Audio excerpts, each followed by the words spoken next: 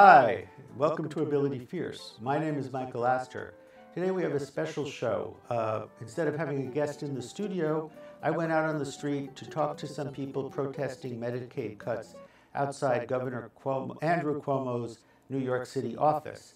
And we learned a lot about the issues facing the disabled and about the harm these cuts are going to do to people and really harming their lives and their ability to get around and be part of society.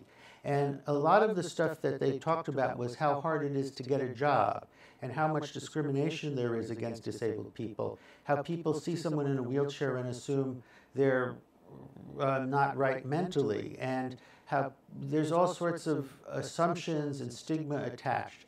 And, you know, it, it, was a good talk. I learned a lot. And I think they learned about Ability Fierce and my idea of an abilities revolution.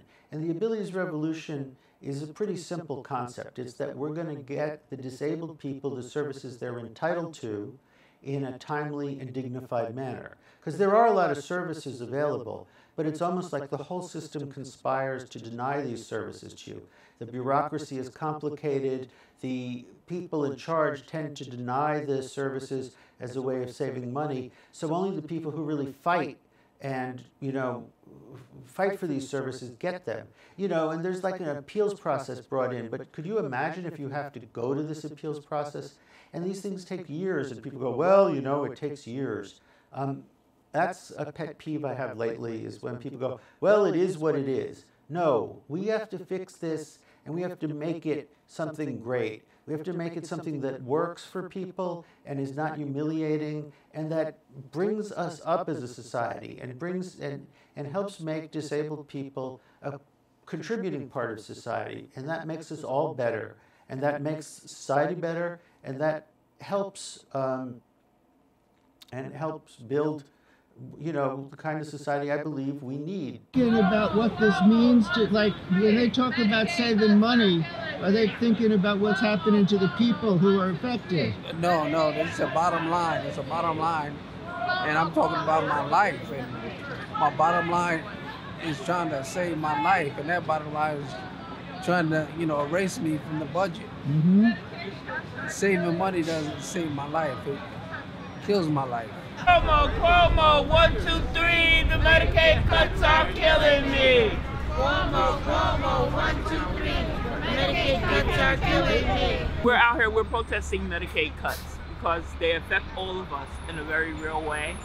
And, you know, I, we know that there's a budget and the budget is necessary, but it has to be a true budget.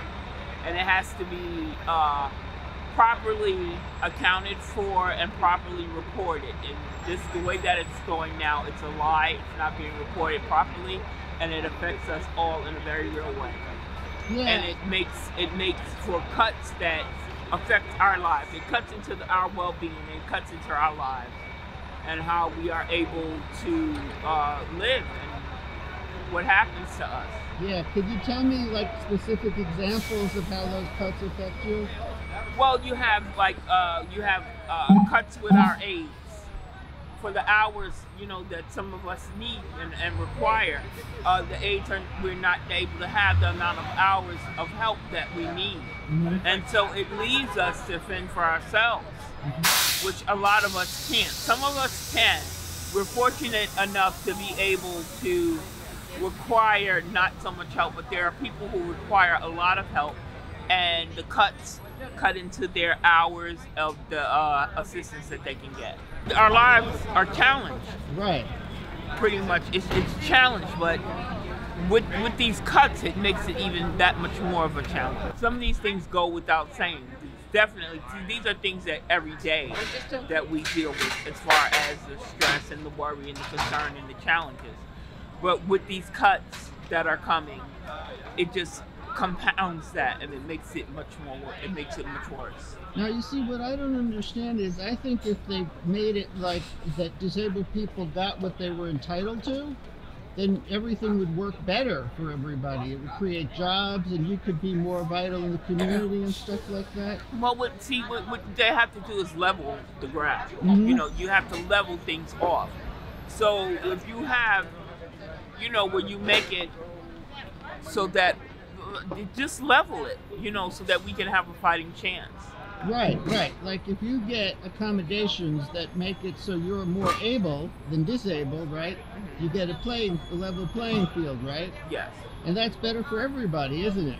Well, of course, it, it's better for everybody because if the more the more you make, uh, just uh, for instance, if you have uh, places that are accessible, Mm-hmm. and uh, let's say you make a workplace accessible, a workplace, you know, with, with the accommodations that we need, there, there's more that we can do for ourselves, Mm-hmm.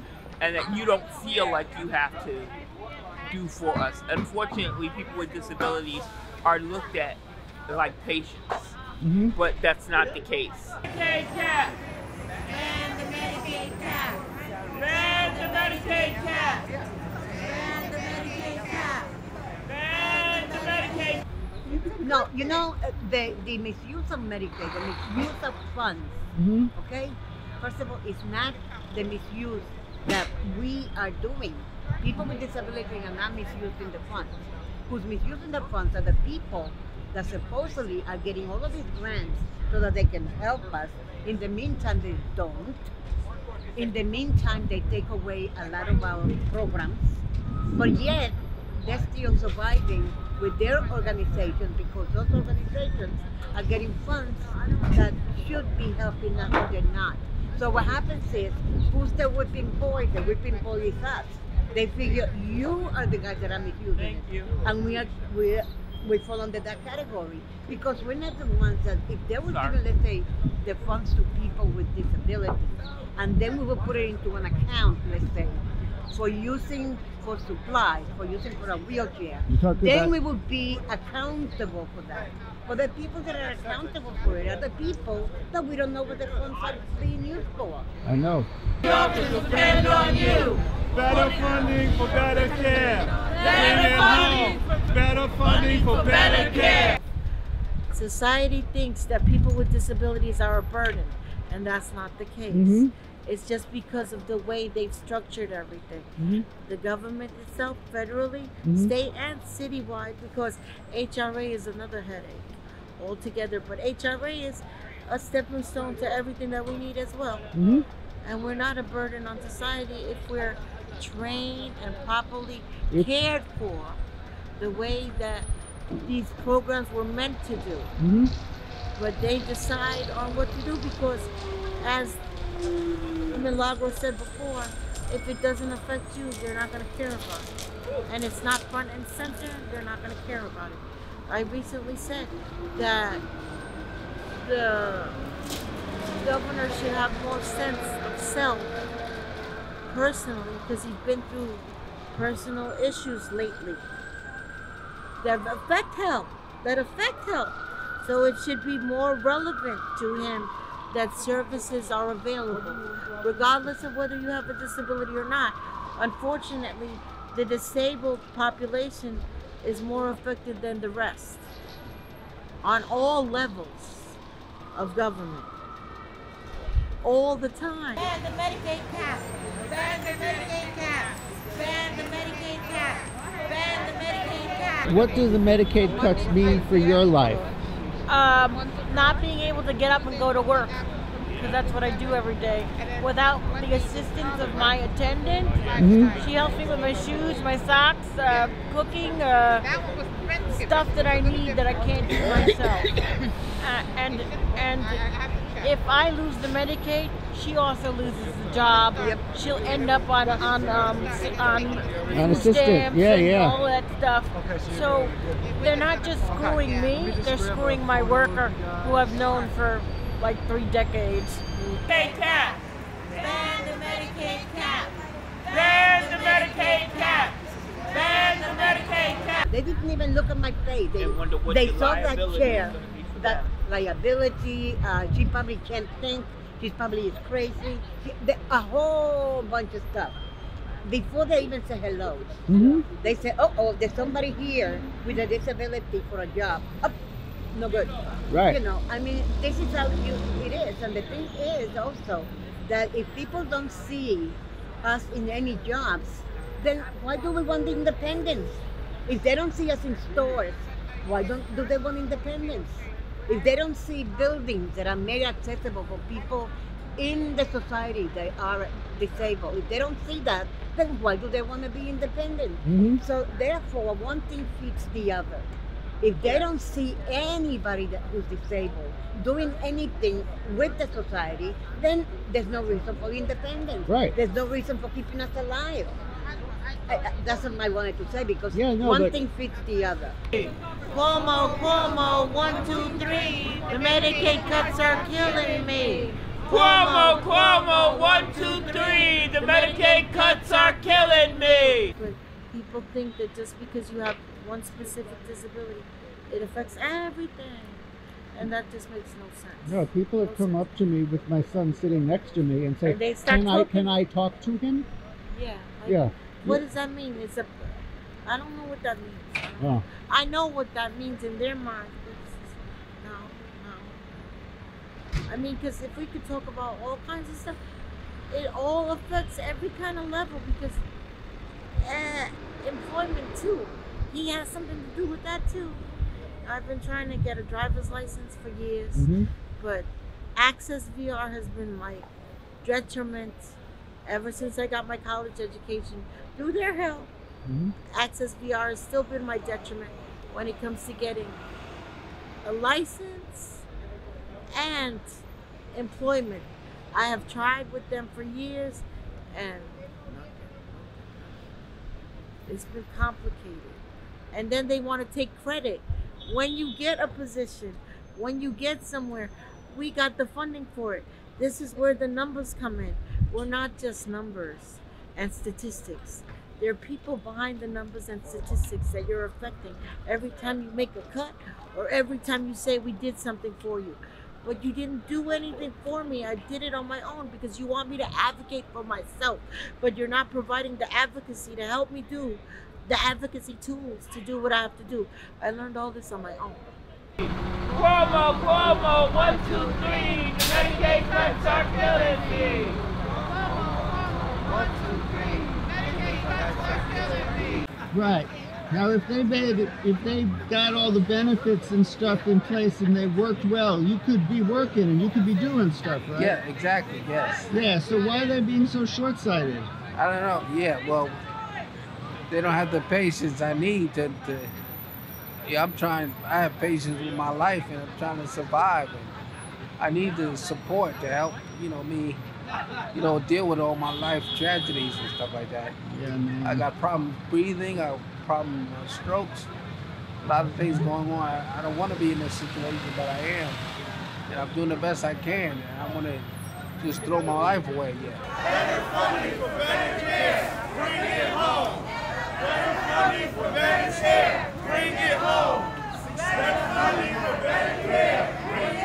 I went to Long Island University, Uh huh. and when I wanted to move on the dorms, they told me no at first because they didn't think I could take care of myself. Mhm. I had to write a pros and cons list to show that I could take care of myself uh, in order for them to let me into the dorm. With Monmouth?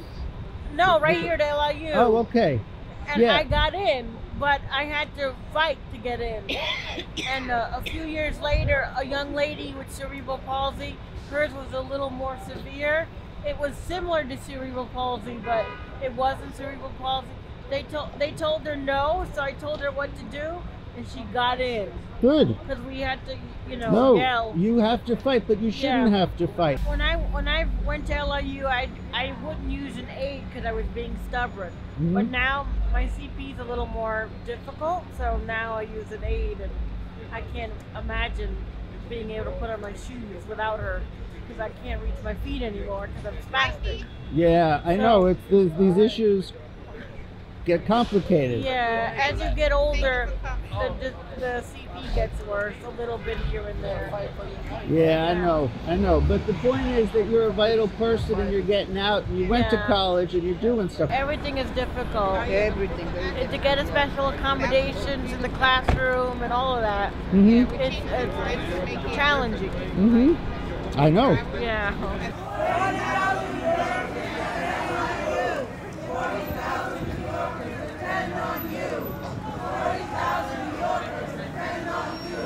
They What if- won't accommodate. Well, That's the I'm other saying we thing. gotta- we got- Accommodations are another thing. we got to change the dynamic. It's all, mm, This isn't working. We got to change it. yeah. Yeah, But and it's they- not going to be easy. It should start at the top, but nobody has that. Yeah, well, Then they're the ones, and that's the thing. The people in office are the ones that have the disability actually, because they don't want to open up their mind. Hey! Cuomo, Cuomo, one, two, three. Medicaid cuts are killing me. Cuomo, Cuomo, one, two, three. The Medicaid cuts are killing me. We're fully functioning people. You know, our brains work fine. We function fine, just as long as we have a level playing field. right, right. So, what do you think they're thinking? Don't they see that this is something that they should be doing, that they should be taking pride Well, in? I don't know what they're thinking. You know, I know as myself, as a person who acquired my disability, before my disability, I wasn't thinking about people with, disab- disabilities. Yeah, isn't that Uh, funny? Well, now it is. I mean, but you know, but before before my disability, I didn't think about it. Right. You know, and if I if I did think about it, I didn't think about it in a proper way. That I now know better. I now know better that people with disabilities they are individuals. They are capable. They're they function fine. They may just have you know parts of them that don't work well, but they function fine. And um, this is something that people need to see. Cuomo, Cuomo, one, two, three. The Medicaid cuts are killing me. Cuomo, Cuomo, one, two, three. The Medicaid cuts are killing me. Cuomo, Cuomo, one, two, three. The Medicaid cuts are killing me. Cuomo, Cuomo, one, two, three. People think that because you have a disability, your mind is affected, and that's not always the case. Even if it is, that does not mean that the mind is not working. You know, and I just, it annoys the hell out of me. It really does. I, I, I hear you. Just because you sit in a wheelchair doesn't mean it's not working over here. hmm Or you have an assistive device such as a walker or a crutch hmm or a brace. It does not mean that your intellect has been affected.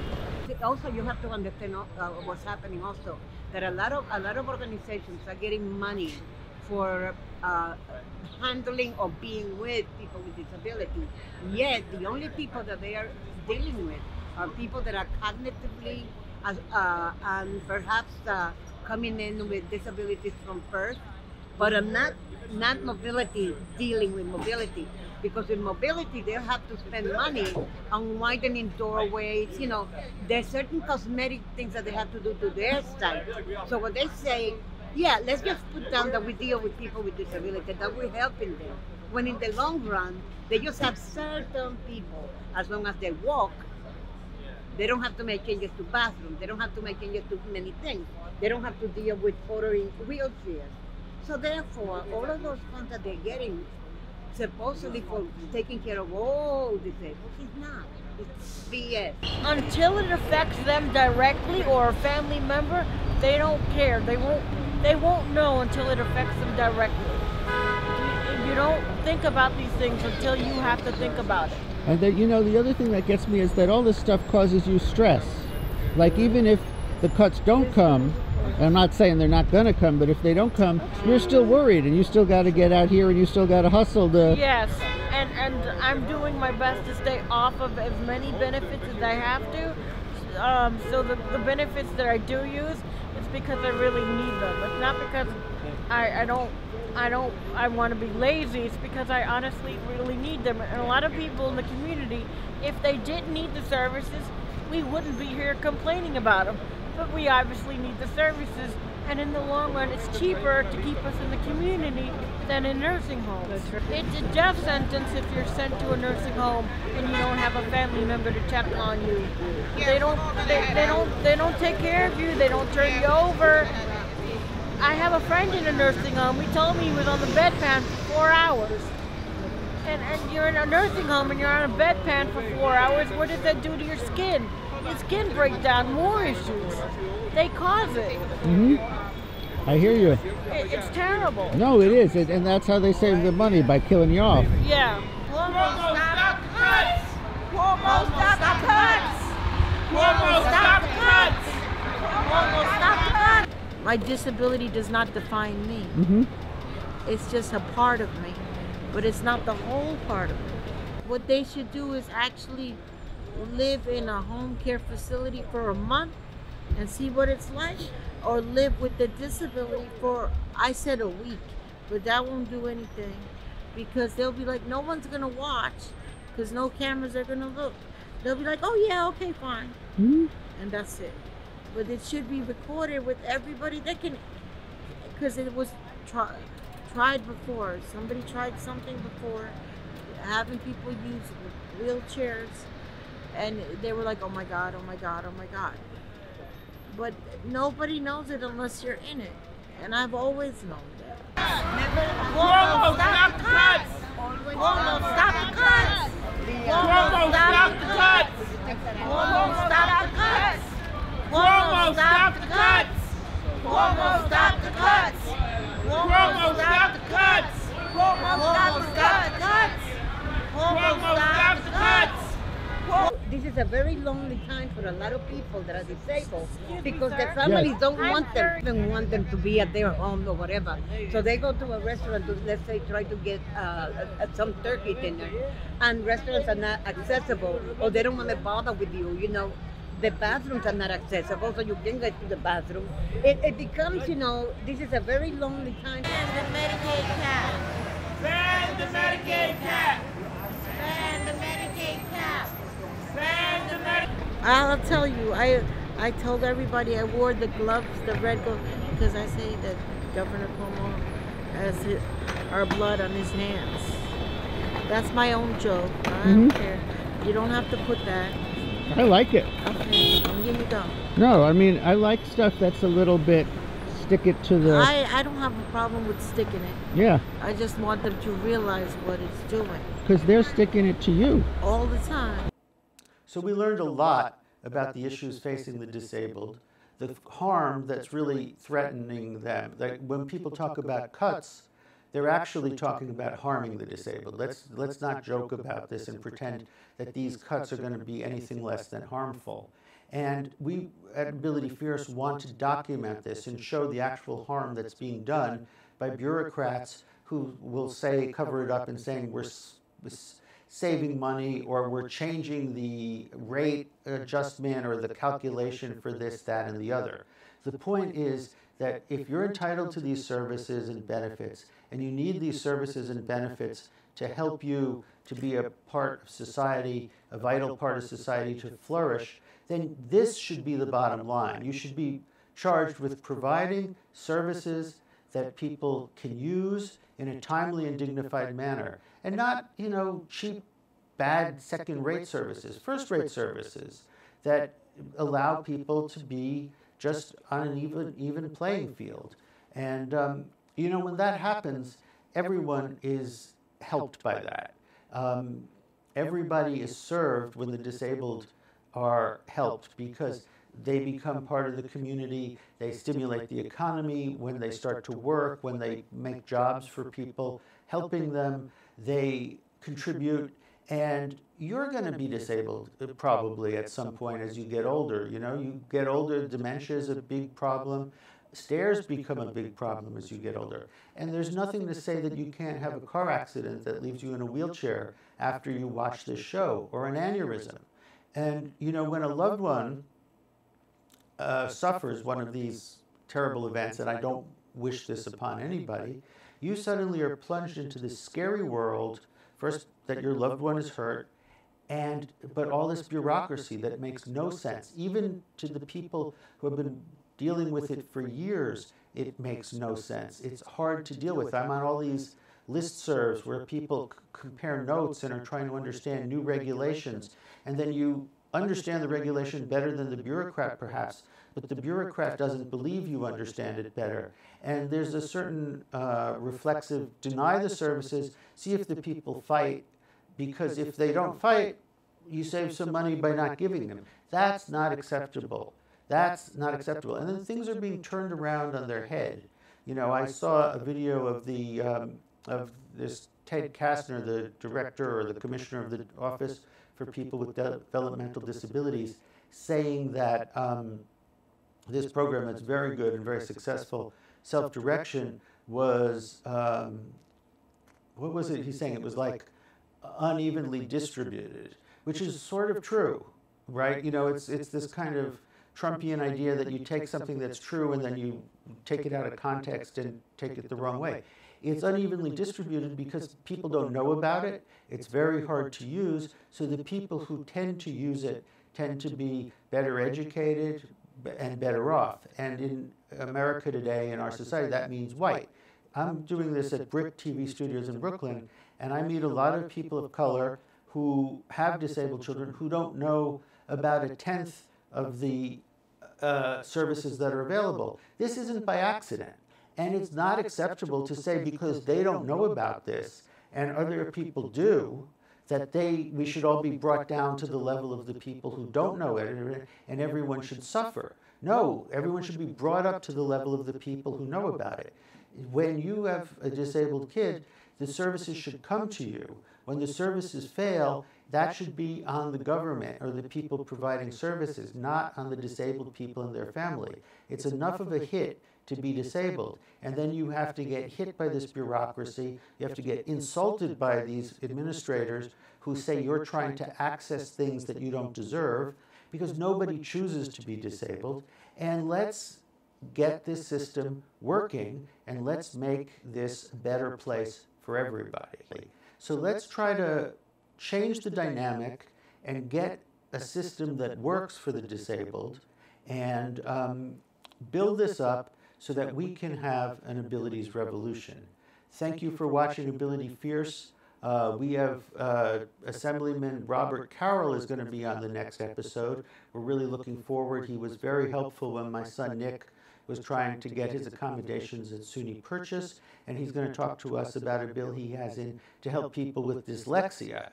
So thank you, and um, we'll see you next week. Thank you.